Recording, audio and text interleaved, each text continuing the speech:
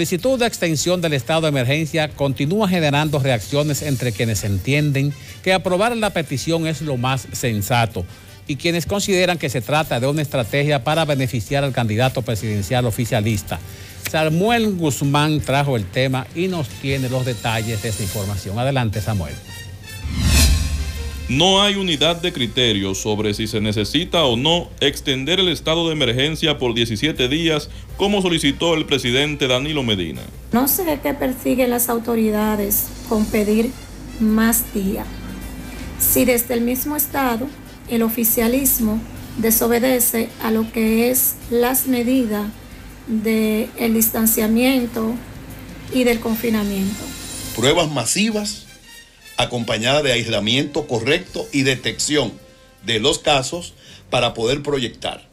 Porque debemos de aprender a vivir con COVID-19 hasta tanto tengamos una vacuna. Opiniones encontradas igualmente manifiestan otros representantes de la sociedad, entre ellos el politólogo Jesús Bueno y el coordinador de la Alianza Dominicana contra la Corrupción, Julio César de la Rosa. En términos reales, se debiera extender no hasta, hasta 15 días, sino hasta lo que resta de año, siempre y cuando se le dieran las mismas oportunidades a los candidatos de la oposición a realizar la campaña nocturna que está haciendo el candidato del partido de gobierno.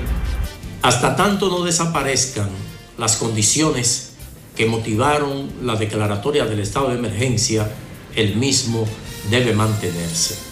Se espera que el próximo viernes los diputados conozcan la solicitud de extensión del estado de emergencia y decidan si mantienen los poderes especiales que facultan al presidente Medina a limitar las libertades de tránsito, culto, reunión, entre otras. Samuel Guzmán, CDN.